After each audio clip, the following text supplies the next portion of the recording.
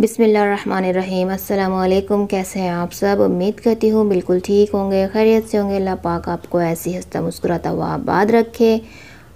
आज की इस वीडियो में बनने वाली है ज़बरदस्त सी एक रेसिपी बहुत ही ज़बरदस्त ये पकोड़े बन रहे हैं। ये पकोड़े कोई बेसन के पकोड़े नहीं हैं। ये आज मैं बना रही हूँ जो हमारे पास लेफ़्ट ओवर ब्रेड हमारे घर में बच जाती हैं। और हम उसका क्रम्स बना लेते हैं। तो आज उसी क्रम्स को लेकर मैंने ये पकोड़े तैयार किए हैं। बहुत ही ज़बरदस्त से लगते हैं और बहुत ही टेस्टी बनते हैं। तो ज़रूर आप इसको ट्राई कीजिएगा और अगर चैनल को सब्सक्राइब नहीं किया है तो प्लीज़ सब्सक्राइब कर दीजिए।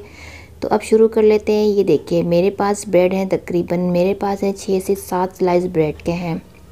और मैंने इसके साइड के पार्ट को निकाल देना है, इसके कॉर्डर कट कर लूँगी और ऐसे स्लाइस में कट कर कर इसको मैंने चॉपर में डाल कर चॉप कर लेना है, इसका क्रम्स बना लेंगे। तो ये देखिए, मैंने क्रम्स तैयार कर लिया है। अब हमने इसको एक बाउल में डाल देना है। ये बाउल है हमारे पास। अब ये क्रम्स हम इसमें डाल देंगे। ये क्रम्स तकरीबन होगा, दो कप हमारे पास ये क्रम्स है तो उसका हमने चौथाई हिस्सा डालना है सूजी। तो ये हाफ़ कप मेरे पास सूजी है, इसको मैंने छान लेना है और इस क्रम्स में डालकर मिक्स कर लेना है। तो इनको हम दोनों, इन दोनों को हमने मिक्स कर लिया है। अब इसमें डाल देंगे हम इसके मसाले। क्या इसके अंदर डालेंगे? हमने ली है प्याज। दो बड़े साइज़ की प्याज ले ली थी, उसको मैंने ऐसे स्लाइस में मोटा मोटा काट लिया था और अब इसको मैं इसमें डाल दूँगी। और इसके साथ ही मैंने यह हरा धनिया था फ्रेश हमारे पास। थ्री टेबल स्पून तीन से चार हरी मिर्चें थी, कटी हुई वो डाल दी हैं।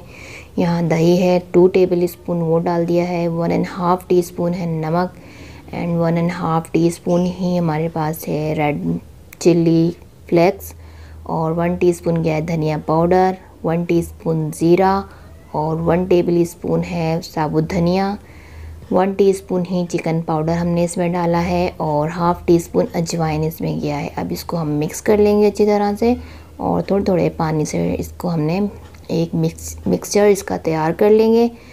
जैसा कि हमारे पकौड़ों का हम बैटर तैयार करते हैं, बिल्कुल वैसा ही हमने इसका बैटर तैयार कर लेना है और इसको अब हम छोड़ देंगे। तकरीबन 10 मिनट के लिए। तो अभी हम इसके लिए अच्छी सी फ्रेश सी मज़ेदार सी चटनी तैयार कर लेते हैं। यहाँ पर फ्रेश धनिया है मेरे पास फ्रेश थोड़ा सा पुदीना है, तीन हमारे पास लहसुन के जवे हैं, ये मेरे पास थ्री टेबल स्पून इमली का पल्प है, एक प्याज है, तीन मेरे पास हरे मिर्चें हैं। इसको मैं ग्राइंडर में डालकर इसका हमने पेस्ट तैयार कर लेना है।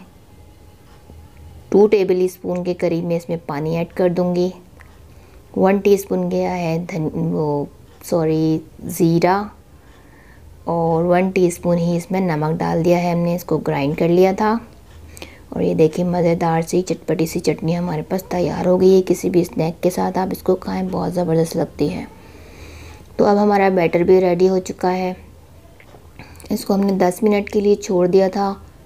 तो अच्छी तरह से ये सारे मसाले इसके अंदर सॉफ्ट हो चुके हैं मिक्स हो चुके हैं और ये हमारा बहुत सॉफ्ट हो गया है बैटर और ऑयल को भी हमने गरम रख दिया था मीडियम फ्लेम पर और टेम्परेचर इसका ऑयल का मीडियम ही है, हम इसको मीडियम फ्लेम पर ही बनाएँगे.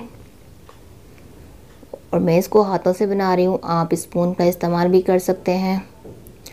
तो मीडियम फ्लेम पर इसको हम फ्राई करते रहेंगे, दोनों साइड से अच्छे सा कलर दे लेंगे.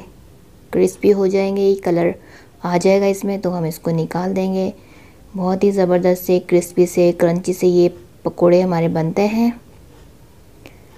इस तरीके से हमने सारे अपने ये पकोड़े तैयार कर लेने हैं। और अच्छा सा लाइट सा गोल्डन कलर देकर हमने इसको निकाल लेना है। तो बहुत अच्छे ये पकोड़े बनते हैं, बहुत टेस्टी बनते हैं। बिल्कुल अलग सा इसका टेस्ट है। ज़रूर आप लोग इसको ट्राई कीजिएगा। बहुत अच्छे बनते हैं, बहुत पसंद आएँगे सबको। और कोई इसमें ज़्यादा हमारे पास कोई चीज़ भी यूज़ नहीं हुई है। हमारे लेफ़्ट ओवर ब्रेड से हमने इतना अच्छा सा स्नैक तैयार कर लिया है, बहुत ही कम बजट में। तो ज़रूर आप लोग इसको ट्राई ट्राई कीजिएगा। और अगर आपको मेरी ये वीडियो अच्छी लगी हो तो प्लीज़ लाइक शेयर ज़रूर कर दीजिएगा। और मेरे चैनल को अगर सब्सक्राइब नहीं किया है तो प्लीज़ सब्सक्राइब कर दीजिए। और बराबर में दिए गए बेल आइकन को भी प्रेस करना मत भूला करें, ताकि उससे मेरी हर नई आने वाली रेसिपीज़ आपको इजीली मिल सके और आप ऐसे ही उसको एंजॉय कर सकें।